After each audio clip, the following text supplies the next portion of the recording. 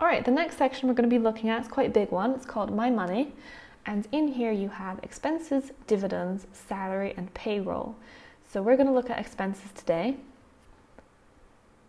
And just like on the overview page where you saw the expenses box of money owed to you, this is the same exact section, but it's in its most real format. So on the overview page is like a snippet of this section, and this is the main area.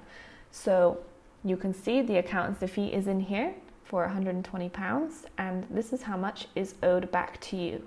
So this has not yet been repaid. You can take 120 pounds from the business account to repay yourself for this cost. So you have a, an add new button up here, and you've got an expense and you've got a mileage claim. So if you click on expense, you've got some expense details here, and it essentially is the type of payment that it is, or refund, for example. So if you returned something, you have the option to refund it on here as well. But for most most of the time, it's going to be a payment, hopefully. Then you've got the category here. So you want to select the most appropriate category of the expense you have added in. So let's say you have a web hosting cost. And the date of that expense was 15th of August and the value of my web hosting cost is going to be six pounds. So I'm just going to put a short description of web hosting. I can even put the company name in here if I want to. So this expense that I'm adding in currently, I have paid with a personal card and that's why I'm adding it into here. If the business has paid for it with the business account, then we don't need to add it into here. It'll be accounted for when we do the banking. So this I have added my £6 personal card cost of web hosting and I'm going to link it to my audiobook for some reason and you can choose to rebill here. So this will be added into the invoice if you want to rebill the cost and those were the options when we were creating the invoice template. So I don't want to rebill this particular cost. I'm just going to allocate it to the project and simply just select the right project for that. And you can also select to recur. So mine does recur monthly, so I'm going to leave it like that. And I have an attachment section here which I can use to attach my receipts, which is very handy.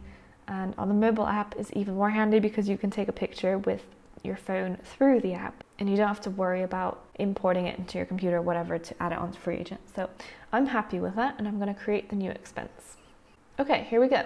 So we've got our web hosting cost linked to our project and it recurs monthly. So it's six pounds spent. So now my total balance owed to me is 126 pounds for everything. And this is just what I've paid for personally. And the next thing we're going to look at is adding a mileage claim. So if you use a personal car, the correct way to account for this is adding a mileage claim. So we're going to click add new and then select mileage claim.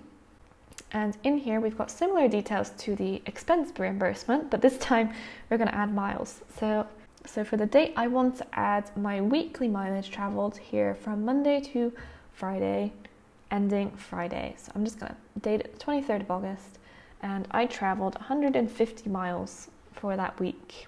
I'm just going to call it weekly mileage to client site. Now, ideally, you would have a mileage log as well to coincide with this.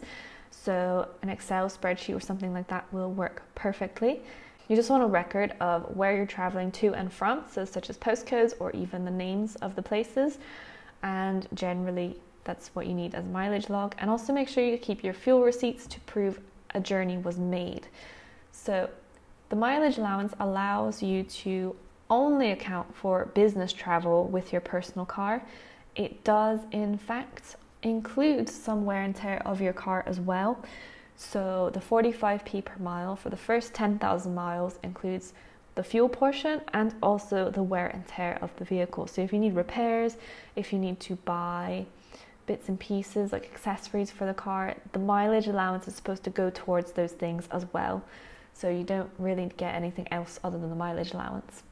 And what you want to do here is select the vehicle type. So you've also got motorcycle and bicycle mileage, but I'm going to do car mileage this time.